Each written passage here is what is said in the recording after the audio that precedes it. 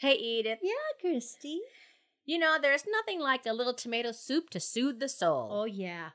I like mine cold, Uh huh. over ice, Yum. with a celery stalk Ooh. and vodka. All right. Slurp. What did the pig say at the beach on a hot summer day? What? I'm bacon.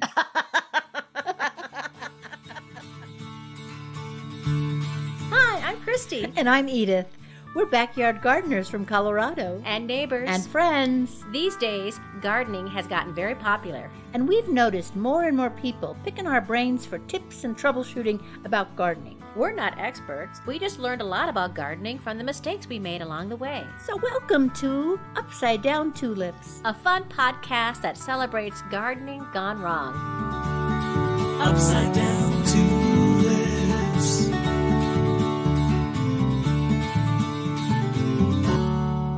Hello, gardeners and wannabe gardeners. Hello, everybody out there, and hello, Christy across the room. Hi, Edith. Hi. My favorite holiday's coming up, Edith. Oh, what what is that? August 8th, Is what? leave a zucchini on your neighbor's porch day. Oh, that'll be fun. Except you don't have any zucchini. That's the sad part about it. I'm going to go, you know what? I'm Oh. going to go buy zucchini and just leave it on my neighbor's porches. Oh, Christy, do you want a Kleenex, honey? Do you? You know, in Minnesota, that's why we um, lock our cars. The only reason why we locked our Uh-huh. cars was so that nobody would sneak a zucchini in the back. well, now you know what you should do. Now park your car on the street and leave all the doors open, so people right, can give you zucchinis. Though I do have a little wee zucchini. I have a little yellow squash that's also wee. So, Edith, Yes. you know how we love to go on Facebook and go on gardening groups. And, folks, if you're out there and you like to go on Facebook, check out your gardening groups because you can get a lot of good local information. Yes, you can. Well, I heard on NPR this week that gardening groups on Facebook are pretty wholesome and a great space to talk about all things plants. But Western New York Gardeners, which has over 7,000 members, was flagged this week for violating their standards. Oh, Someone asked the group about their most loved and indispensable weeding tool, and someone replied, the push pull hoe yeah. and the artificial intelligence of Facebook didn't pick up on that meaning and said that we reviewed this comment and found it goes against our standards for harassment and bullying. Another offending comment from this group was, quote, kill them all, drown them in soapy water. Japanese beetles, right?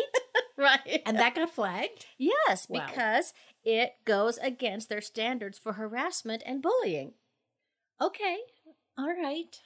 That's the world we live in today, Christy. I thought that was hilarious. That is hilarious. How is your garden doing, Edith? Well, it, it's doing okay. You know, it's doing okay. Um, I'll talk about my tomato problems shortly. I've been doing a lot of weeding. I've been doing a lot of between 20 and 30 Japanese beetles a day, drowning and killing them. Isn't that you- interesting? Not you? You know, I've had some. I haven't had 20 to 30 a day.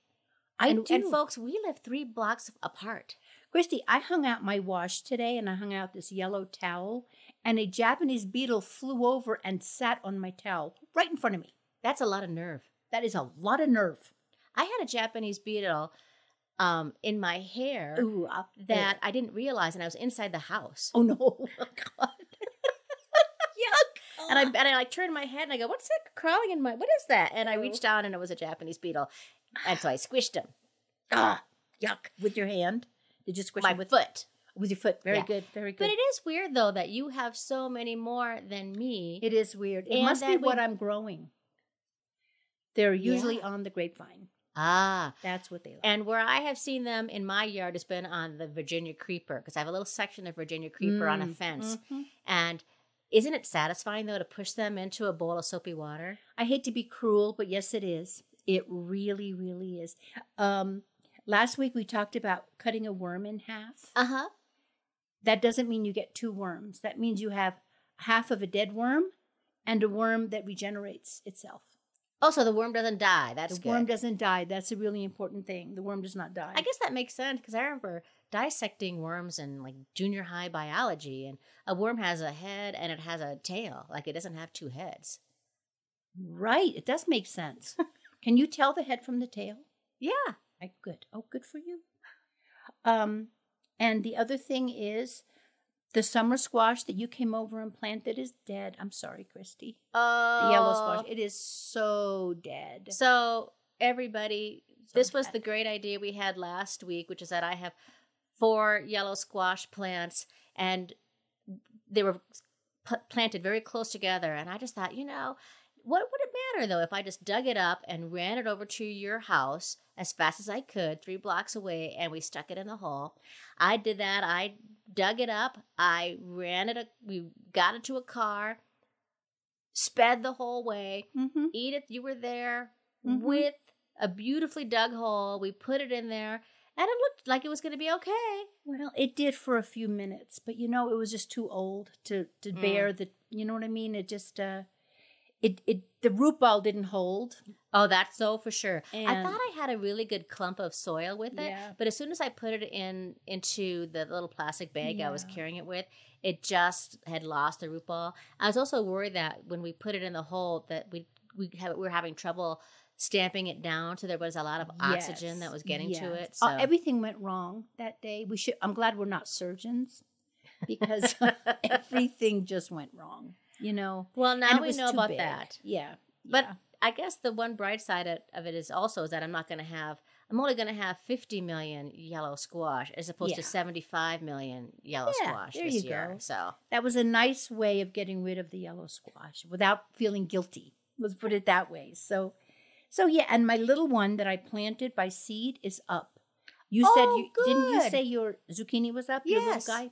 So my little yellow squash is up so too. we have little babies. We'll see what happens. Yeah. Now the interesting experiment is is that can they will they bear fruit before the first frost? Yes. Well, what is it? It's almost. Let me see. They have one month, two month. Oh, they will. Oh, Christy, they will. It's like uh, nine weeks. Okay. I think they will. Okay. Well, let's see who let's see who has let's see who has a blossom first. Okay, good. Yeah. Okay, good. Very good. So, and so tell me, how is your garden going? Well, I have a lot in bloom and a lot to deadhead. I have been deadheading daisies, my echinaceas up, my black-eyed Susans up, my trumpet vine looks beautiful, my veronica is blooming. The pansies are now gone, which is not too bad for the end of July for pansies Mhm, to make mhm. it this long. On the veggie update, boy, are my tomatoes doing fantastic. Oh, that's good. I've been harvesting them and actually been giving some away, Edith, if you want some. Where have you brought any over to my house, or did you just bring a big, fat, dead summer squash to my house?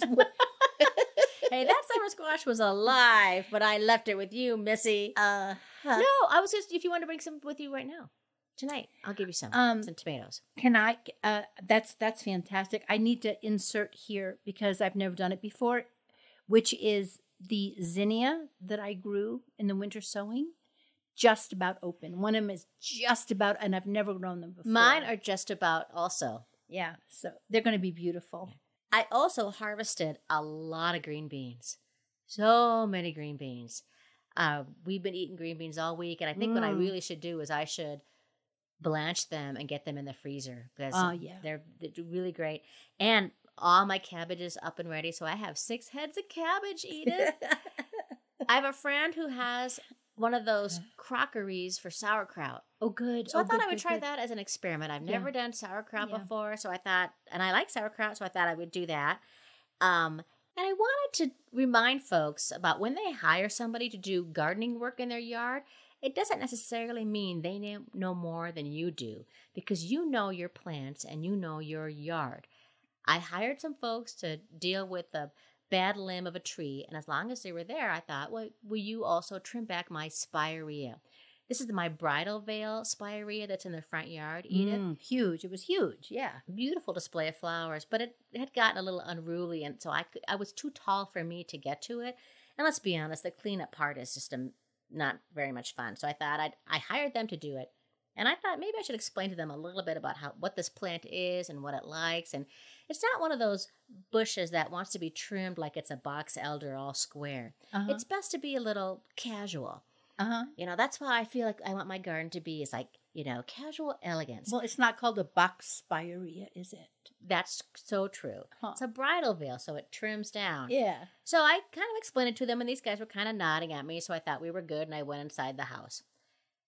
And then I came out, and they, what did they do? What's your best guess, Edith? It's square now, isn't it? It's square, right, and flat at the top. And um, Oh. and I went up to them and says, "Hey, I thought we had this discussion about how." He goes, "Yeah, we just don't have we just don't have the tools for that. We should have brought them, but we just didn't bring them.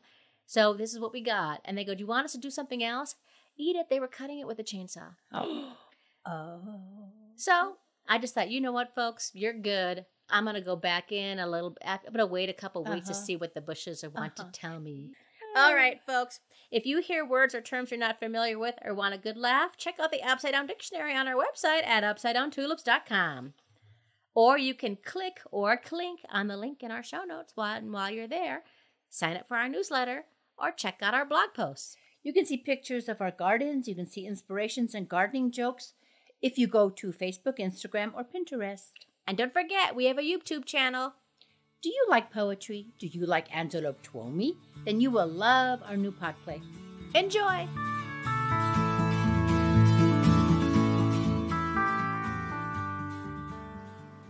Two packets of radish seeds for my fall planting, bought and paid for. The poetry reading is about to begin. Please take your seats. Oh no. Why does this keep happening to me? I have a Zoom meeting in 30 minutes, plus so much garden work.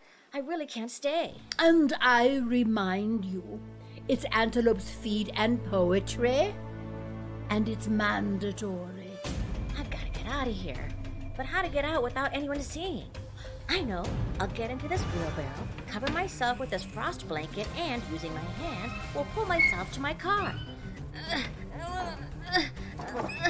Oh, my arms are too short. Dang it. I'm just gonna have to rock back and forth to get this thing moving.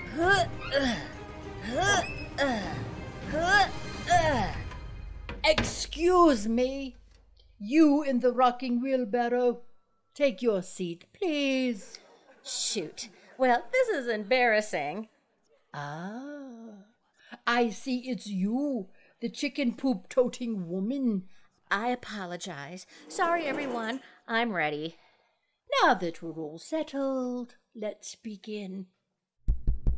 Hello, I am Antelope Twomey, the poet laureate of Wyoming. Today's poem is called Who Has Not Turned Off Their Electronic Device? Oh my gourd, it's my phone.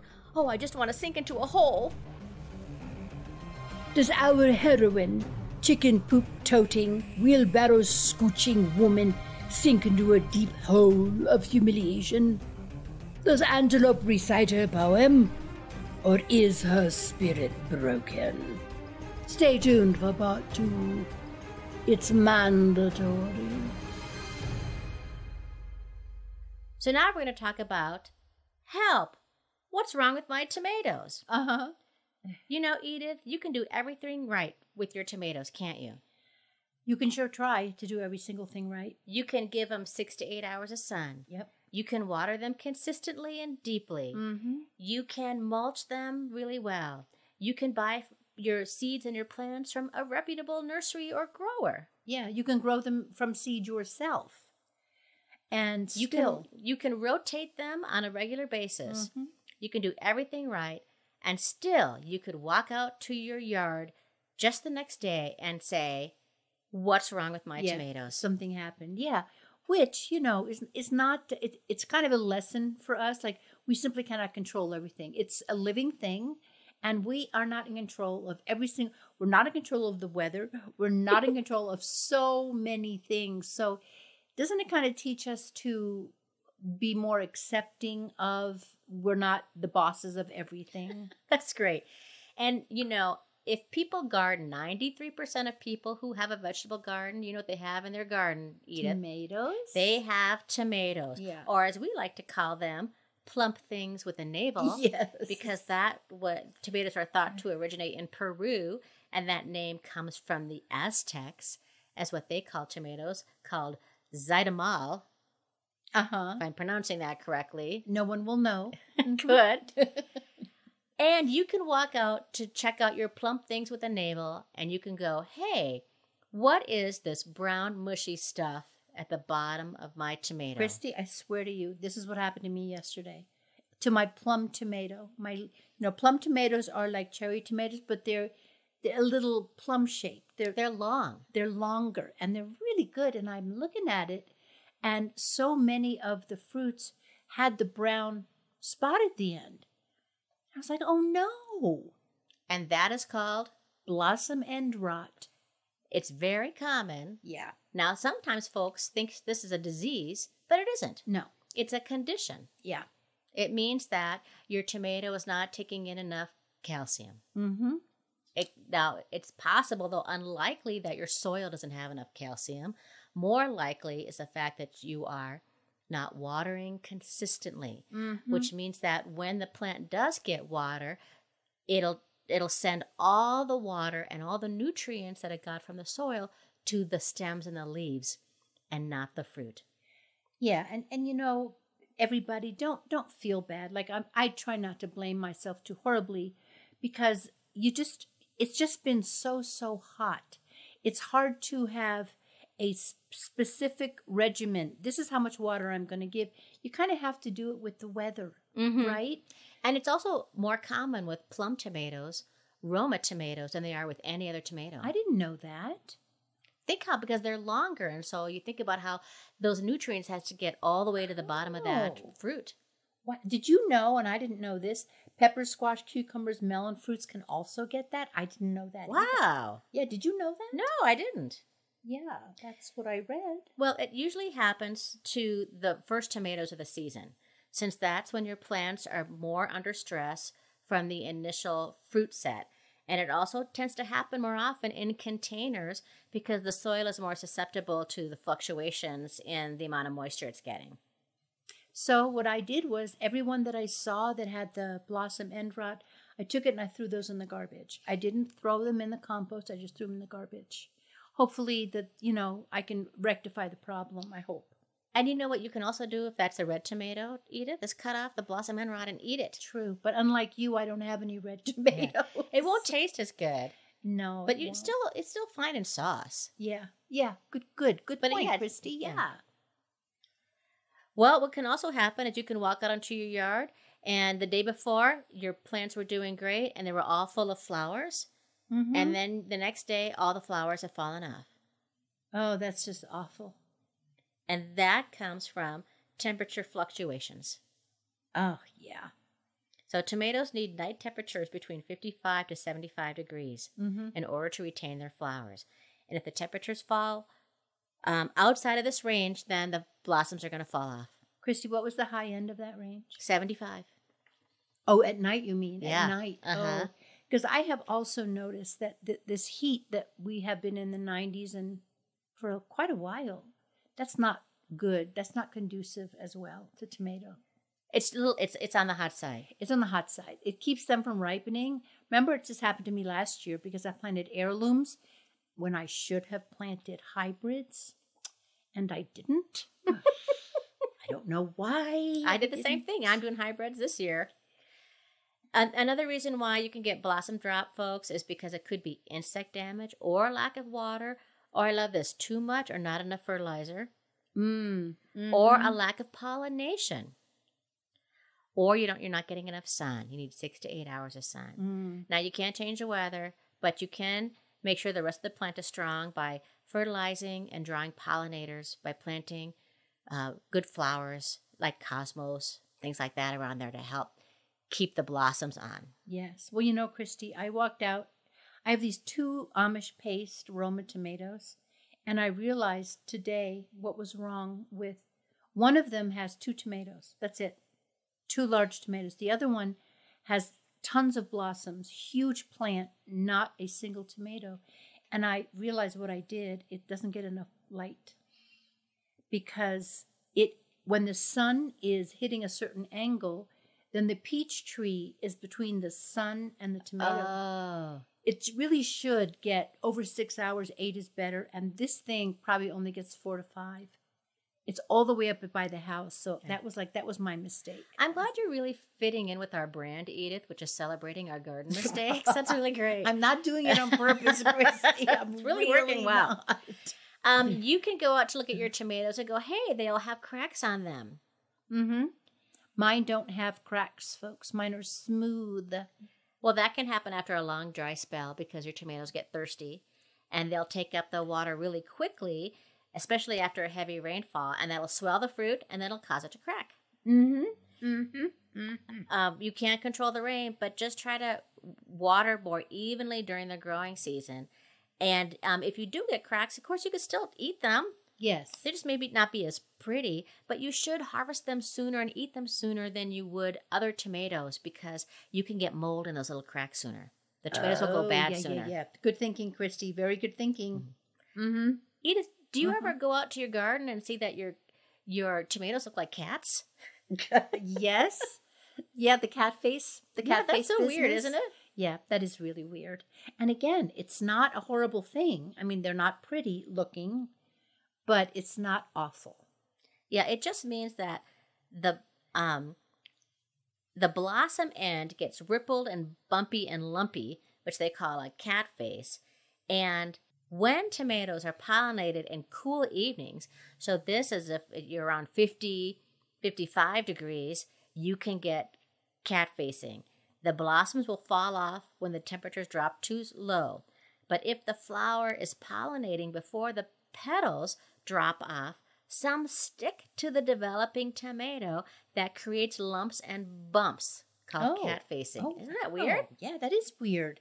Did hey, did you know that walnut trees like black walnut, English walnut, that they're really bad for tomatoes? I have heard that.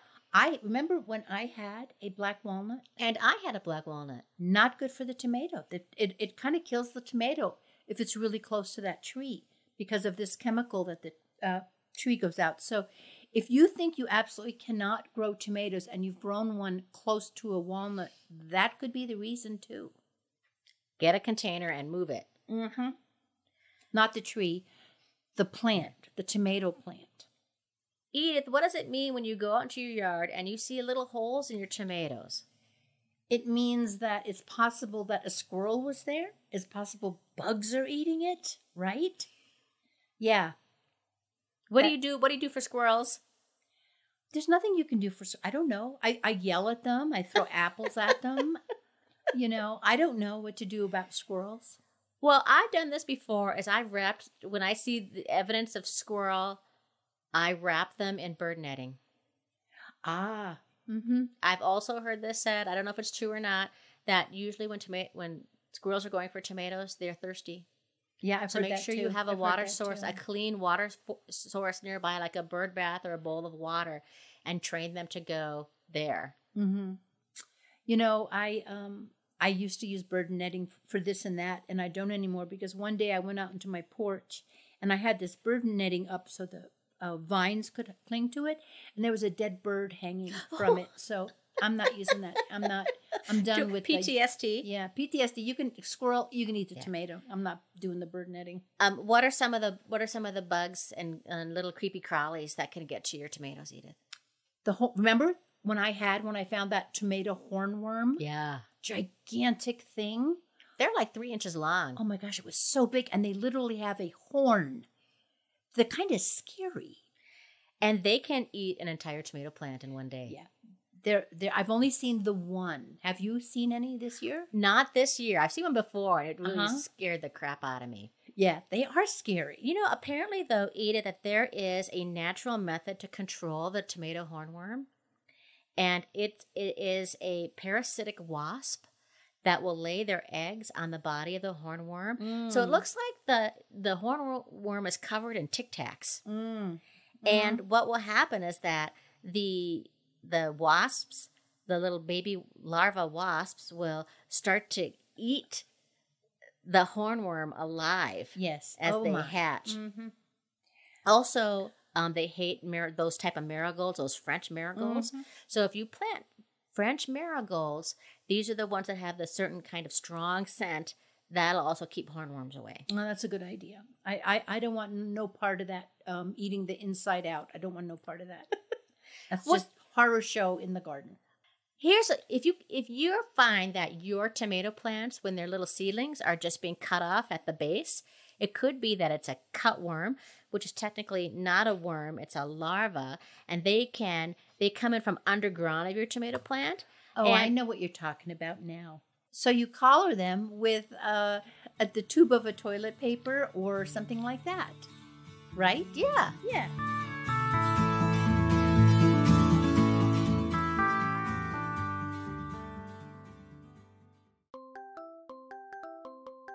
I am so sorry about my phone. I don't think I've ever been so embarrassed. Not even when you were caught trying to make a getaway in a creaky wheelbarrow. Okay, that was even more embarrassing. Not like I needed a reminder. Not to worry. We'll just go on as if nothing has happened. Today's poem is called Ode to a Gardener. See the working gardener, how humbly he or she waters the lovely flowers for the bumbly honey bee. Sowing the seeds in the garden he or she reveres, while others play canasta, the gardener perseveres. Through the high heat, the damp, and even the drought, when so many things can cause garden burn out, growing dime sized potatoes and cat faced tomatoes, or cabbage the size of a Brussels sprout, giving you but a thimble of your beloved sauerkraut. You persevere. Oh, pioneers of the garden! with earwigs in your clothes, thorny cuts, and also bruises. Maybe getting lightheaded from the poop tea that one uses. And falling on your butt, oh, the neighbors you amuses. But the gardener, you persevere. Fighting the bindweed, the fungus, the powdery mildew, things that return every year, a beclouded deja vu. Yet you, the gardener, persevere. So when a gardener offers you a homegrown zucchini that's about as long as an opera by Vincenzo Bellini, don't turn up your nose with a bougie Whole Foods attitude. Just think of what the gardener went through and accept with gratitude. Well, she's done it again. She's touched my heart, lifted my spirit, and given me all the feels. Thank you, Antelope. Encore! In real life, wheelbarrow scooching woman, there are very few encores. Today there shall be none. The store is closing. Go home, gardeners, poetry lovers, and those who snuck in because they needed to use the restroom. Go home and always be lovely. I know it's a long way to go to Wyoming from Denver, but dang, that is such a good feed and poetry store that Yeah. I it's really worth the trip. Do, do you just love like Im- being immortalized in such a way? Yes. Okay, okay, back to tomatoes. Christy, once again, my tomatoes are as green as can be. Just green, green, green, green, green. oh, they're not turning red. They're not turning red. And I think it's the heat. the Although heat. yours are turning red, but you have hybrids. I have certain hybrids that one is a Fourth of July tomato and one's an early girl, so they are bred for that. Yeah. But my other ones are all, and my cherries are red, but my other ones are all very green, and that's the heat.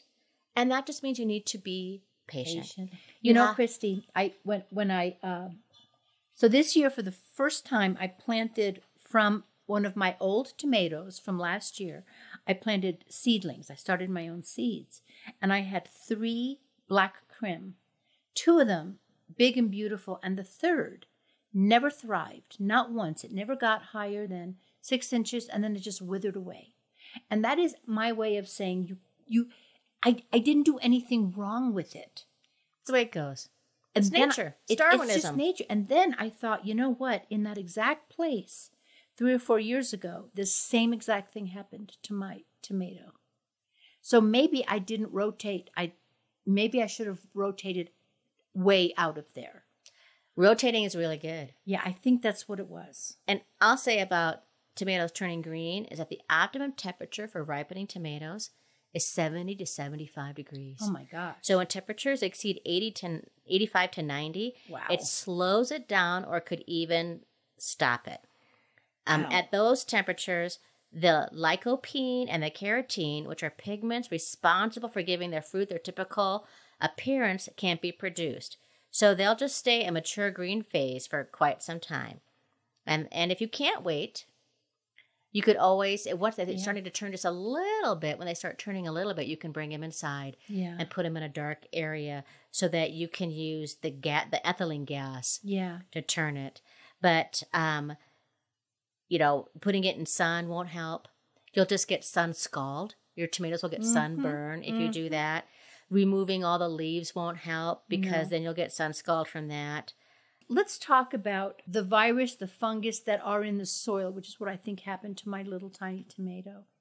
They're just they're just in the soil and what you did was like you moved your tomato town this year. Yes. You garden on a grid and you moved it away from what what killed some of those tomatoes last year, right? Yes, And this year you only lost one tomato that's correct. and it was an heirloom. Is that right? It was Um, an I don't know if it was an heirloom or not. I can't remember, but it wasn't. It was the Roma, and it wasn't protected against. It wasn't. Didn't have like the verticillium wilt or Oh, those okay. protections against it. There's a lot of fungus that will cause your tomato plants to all of a sudden turn yellow Mm-hmm. or brown or start to wilt. Yeah.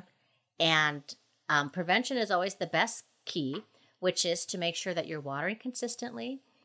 You're watering the toes and never the nose, Mm-hmm. And that you mulch a lot. Yeah, and don't mulch right up to the very stem of it.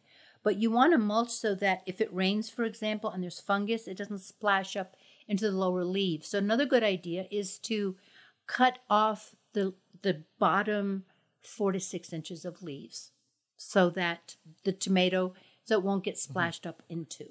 The most common is going to be early blight, Mm-hmm. and you'll know you have it if you see um, the lower leaves start to break out in yellow spots, and usually within within that um, they'll start to have rings like a target. That fungus can live in the soil over winter. So if your plants have problem with this, you've planted tomatoes in the same exact spot, chances are good that you'll happen to you again. So if you get that, it's best to take those tomatoes and put them in the garbage, Yeah. not on the compost pile, and rotate your crops.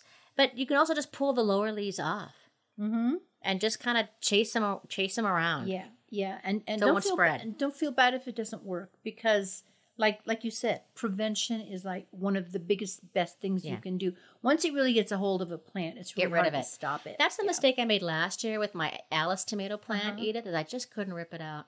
I don't know what my problem was, but I should. I, I was a bit more brutal with Cindy Brady this year. Uh huh. Yeah. And as soon as I went, oh no, no, no, we are not doing this again, and Yeah. into the garbage that she went. Well, let's talk about pre- in terms of preventing, and you you talked about this earlier. What is the um um the resistant? When you get a hybrid that is resistant, you will see on the seed tag like VFN, Mm-hmm. right?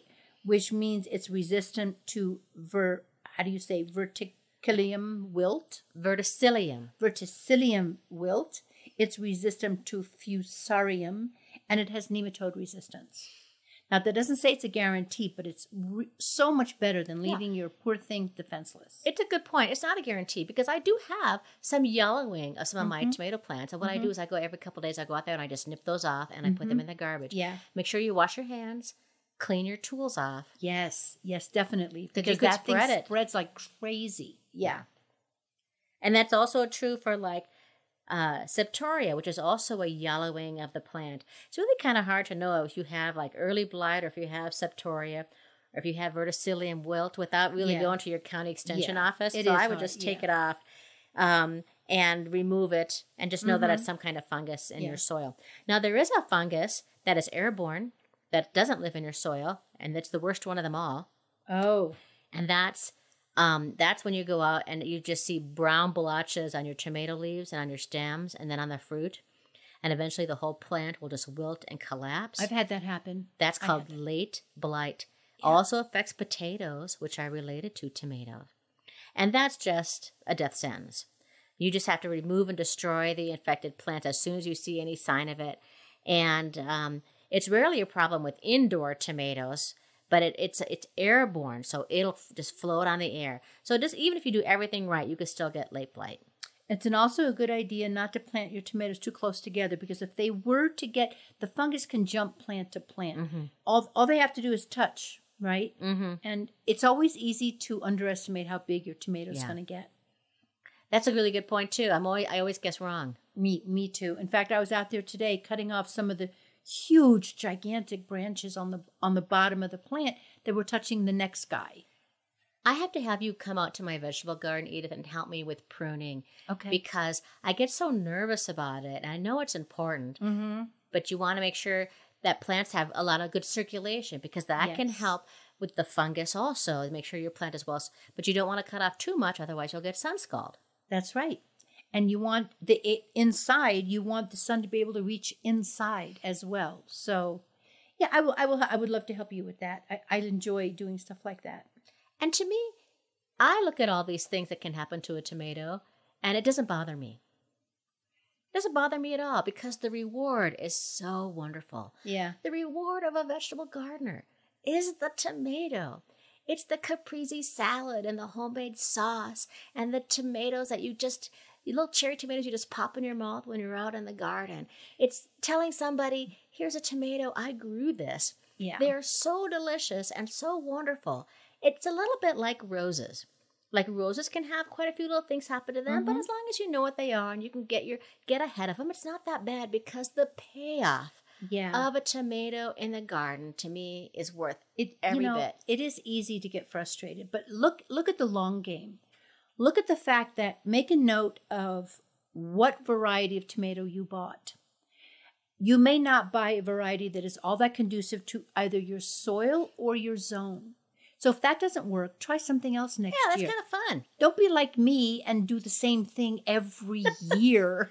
And Shake it up a bit. yeah, shake it up until you find what really works for you. And perfectionism is just going to make you sad in the garden. Yeah. As we like to say, good is not the enemy of perfect. It's okay to have a little chewing. It's okay to have a little bugs. It's okay to have a little yellow leaf happening. It is. Because I tell you this, Edith, I have some beefsteak tomatoes that are size of baseballs right now that are going to turn red in a couple of weeks. Uh-huh. and that's going to be incredible. You're going to be so happy. oh my gosh. I didn't even say the best part about tomatoes BLTs. yeah. That's a really, I'm bacon. Excuse me, I'm just going to check here the mailbox and see if there's anything in here. Is there? Guess what time it is, Edith? Is it mailbag time? It's mailbag. Okay, ring ring. Okay, well, this week, um, our letter comes from Lisa from Denver. And she says, Edith and Christy, I thought you might be interested in the petition below since you talked about this on your podcast. She is referring to episode 27 and 28 from the ground up and starting your own seeds. And this is about the bill in Congress that would impose strict rules on baby food manufacturers and require regular testing to verify levels of toxic metals. Remember, we talked about this? And like the arsenic is like 900 times more than you can get in water. They And found this in baby food, Baby food. in our country. Oh yeah. And in Europe, they have the, they at least have some rules in Europe that that make sense and don't kill babies. But apparently here, we haven't gotten around to that yet. But there is a bill in Congress right now, and um, Lisa says, please to support this, tell the members of Congress, your members, to support the Baby Food Safety Act of 2021. Um, and here's something that's going to speed it along, Christy. Remember when we talked about the um, the Roundup and the two billion dollar settlement that went to one couple? The lawyers for that were Baum Hedlund. Was is their is their name? They are bringing a lawsuit against all of these baby food companies, and they what they have done is they are making an association between the heavy metals in baby food and autism and ADHD. Oh my goodness. Yes, and they're doing that thing where they look for people. If your Mhm. kid has eaten this, let us Mhm. and has autism, you know, let us know. So I think in light of that, here's a couple things that have happened in light of that. Beechnut on June 8th, just last month, uh, two months ago, issued a voluntary baby food recall for its infant rice cereal because of the arsenic levels. In fact, it would really be a good idea, everybody out there, if you have little kids that eat baby food, don't feed them rice. There, th- right now, there is no way to get that level down.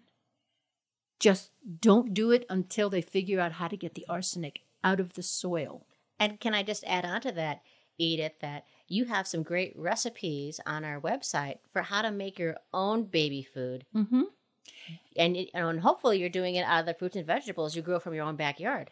And that doesn't mean that your backyard is necessarily free of heavy metals either. If you want to be absolutely positive, you got to get, you got to build a raised bed and you got to fill it with organic soil that actually says on it that doesn't have any heavy metals. Because if you have a house in 1978 is when they said you cannot do leaded paint. Mm. Well, my house is from 1930. So you know that the paint at one point was leaded. And this affects children and babies so much more than it does Yes. for grown-ups. Yeah, because they're so little teeny tiny. So all of this stuff, like leaded gas, all all the stuff, the emissions went into our soil. This is why it's better to do stuff in the backyard, not the front yard, not where it's all really, really busy. So anyway, folks, please, please, before that comes up for a vote, tell your member of Congress to- support the Baby Food Safety Act of 2021. And thank you, Lisa, for bringing this back around Thank to you, our Lisa. attention. How can people sign the petition if they want to? Where do they go for that? I think if they went to the Baby Food Safety Act, if you Google that, I think that you could um, you would find that petition. Thanks, Lisa. so. Thank you. And folks, if you have your favorite gardening stories, successes, flops, you want to tell us what's going on with your tomatoes, will you please write to us? We wish that you would just do this. It's at upside down tulips at gmail or at our website at upside down tulips.com. You can also check out the show notes. Christy, the light is soft, the feeling is misty. You look moved. Can you can you share with us what moved you so? Here is this week's inspiration, Edith. It's by Lewis Grizzard, American writer and humorist. It's difficult to think anything but pleasant thoughts while eating a homegrown tomato. Oh. Oh, that's very nice. That's a good one, Christy. Okay, everybody. Thank you for listening. We are Edith Weiss and Christy Montour Larson. Did you get some laughs, some value out of our This Tomato episode? If so, could you do us a favor? Just hit that subscribe, like, or follow button on wherever you listen to your podcasts. We want to thank Denise Gentilini for composing and performing the Upside Tulips, the Upside Down Tulips theme song.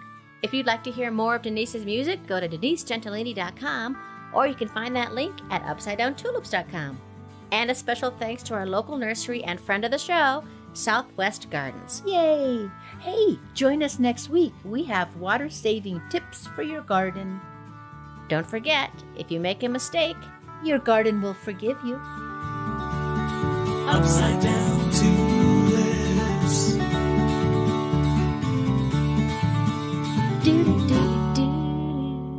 do I'm baking. do do.